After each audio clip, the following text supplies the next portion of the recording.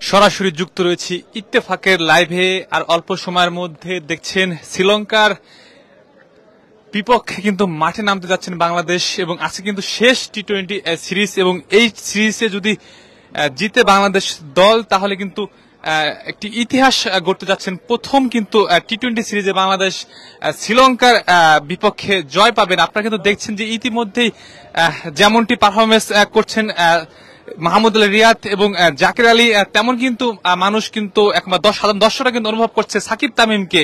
আসলে এই সাকিব তামিম যদি থাকতেন এবং তাহলে কিন্তু এই খেলাটি আরও সুন্দর হতো এমনটি মনে করছেন এবং তার মধ্যে কিন্তু দেখছেন যে বিসিবির সভাপতি নাজমুল হাসান পাপন কিন্তু ঢাকায় কথা বলেছেন এবং আজকে বোর্ড মিটিং হয়েছেন হয়েছে এবং সেই সাকিব তামিমকে নিয়ে কিন্তু দলে ফেরার জন্য বা তামিম যেন দলে ফিরে সেই বিষয় নিয়ে কিন্তু আলোচনা করেছেন এবং আমরা কিন্তু আজকে জানার চেষ্টা করব। দেখছেন যে একজন ক্রিকেট ভক্ত তিনি কিন্তু আহ, দেখছেন নৌকা নিয়ে কিন্তু এসেছেন এবং নৌকা মার্কা নিয়ে কিন্তু এসেছেন। আমরা দেখানোর চেষ্টা করছি আপনারা আপনি বাংলাদেশ দলকে সাপোর্ট করতে এসেছেন এবং ভিন্ন সাজে এসেছেন।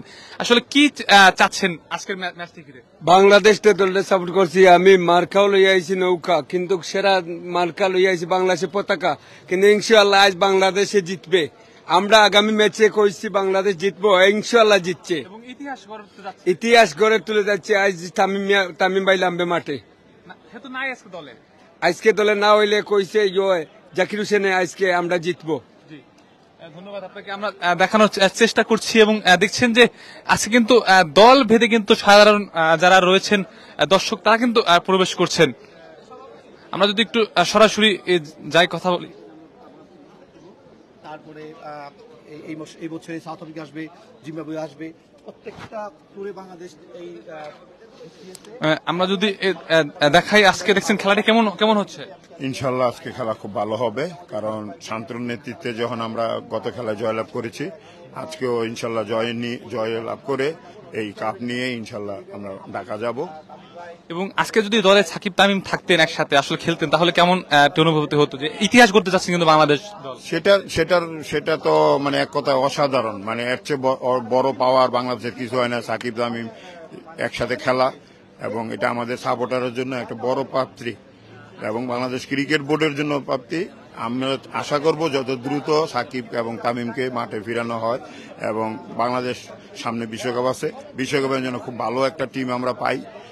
কেউ ওর সাথে কোনো দ্বন্দ্ব নাই। আমরা খেলার জন্য প্লেয়ারদের ভালো খেলতে চাই। তারা শতভাগ দিয়ে খেলবে। আর আমরা সাপোর্টার যারা আছি, গ্যালারি থেকে বাংলাদেশ বাংলাদেশ বলুন তারা সবাই এটা প্রত্যাশা করি যে সাকিব, তামিম সামনের ওয়ার্ল্ড কাপে একসাথেই এক টিমই খেলবে। এই যে মাহমুদুল্লাহ এবং জাকিরের যে দুর্দান্ত ব্যাটিং করছেন এবং আজকে কিন্তু ইতিহাস করতে যাচ্ছেন প্রথম টি টোয়েন্টি সিরিজ শ্রীলঙ্কার বিপক্ষে জিত- জিততে যাচ্ছেন বাংলাদেশ। বা যদি আজকে জয় পান, আসলে এটি কীভাবে দেখছেন? ইনশাল্লাহ জয় ইনশাল্লাহ জয় নিয়ে এবারই যাব। এটা জয় পাবো কি বলে না, আমার খুব আমি খুব শতভাগ আশাবাদী যে আজকের সিরিজটা জয়লাভ করব এবং এই জয়, এই শান্ত জাকির, মাহমুদুল্লাহ রিয়াদ মাহমুদুল্লাহ রিয়াদ পরীক্ষিত। মাহমুদুল্লাহ রিয়াদের নিয়ে কোনো কথা বলার ভাষাই নাই, কারণ সে পরীক্ষিত একজন সৈনিক। তার নাম রয়েছে সাইলেন্ট কিলার সে আস্তে আস্তে আস্তে আস্তে মানে কাটে। সেটার উদাহরণ হলো নির্দেশ কাপে। শ্রীলঙ্কার বিরুদ্ধে, এই শ্রীলঙ্কার বিরুদ্ধেই আমাদের সবাই ধরে নিয়েছিলাম যে আমরা ওই ম্যাচটা হেরে গেছি। কিন্তু সেইখান থেকে আমরা লাস্টের বলে ছয় মেরে যে কি একটা অবশ্যই জয় পেয়েছিলাম, সেটা এই মাহমুদুল্লাহ রিয়াদ রয়েছে। আর গত খেলায় আরেকজন উদীয়মান খেলোয়াড়, জাকের আলী অনিক, খুবই ভালো একজন খেলোয়াড়। ওকে যদি প্রোভাইড করা যায়, ভালোভাবে যত্ন করা যায়, বাংলাদেশের একটা রত্ন হয়ে দাঁড়াবে। ধন্যবাদ। এই যে দেখছেন আজকে কিন্তু বোর্ড মিটিং হলো এবং তামিম তামিমকে নিয়ে কিন্তু কথা হয়েছে এবং দলে ফেরার বিষয়ে। এবং আজকে কিন্তু একটি ইতিহাস করতে চাচ্ছে আসলে এ- এই বিষয়ে কি বলতে চান? হ্যাঁ সরি ইতিহাস? হ্যাঁ হ্যাঁ। হ্যাঁ মোস্ট ওয়েলকাম তামিম ভাই। আমরা চাই তামিম ভাই ফিরে আসুক। তামিম ভাইয়ের কোনো তামিম ভাই আনপ্যারালাল তামিম ভাইয়ের বিকল্প এখনও বাংলাদেশ তৈরি করতে পারেনি এজ ওপেনিং ব্যাটসম্যান আর যে বড় ভাই নয়ন ভাই বলছিল যে ট্রফিতে সেই সেই ম্যাচে আমি মাঠে ছিলাম। রিয়াদ ভাইয়ের যে সিক্স ওই সিক্স আমার হৃদয়কে নাড়া দিয়েছিল। মানে আমরা সেই শ্রীলঙ্কান হাজার হাজার দর্শকদের ভিড়ে আমরা কয়েকজন ছিলাম। সেখানে মানে কতটা আনন্দ কতটা দেশত্ববোধ মানে কাজ করেছে কতটা কান্না মানে রীতিমতো আমরা কান্না করেছিলাম। সেই কান্না দৃশ্য বাইরে ভাইরাল হয়েছিল। মানে সেটা বলে শেষ কথা রিয়াদ ভাইয়ের জন্য অনেক সবসময় শুভকামনা। রিয়াদ ভাই পরীক্ষিত, রিয়াদ ভাই পরীক্ষা দেওয়ার কিছু নাই। আমি আমি মনে করি, রিয়াদ ভাই এখনও বাংলাদেশের তিন ফরম্যাটেই এখনও আরও দুই বছর অনায়াসে খেলতে পারবে। সেই ফিটনেস, সেই যোগ্যতা, সেই ক্যাপাবিলিটি সেই সবকিছু রিয়াদ ভাইয়ের আছে। আর তামিম ভাইকে চাই, এখনও চাই তামিম ভাই আনপ্যারালাল আনপ্যারালাল তামিম ভাইয়ের বিকল্প এখনও আমরা তৈরি করতে পারি নাই।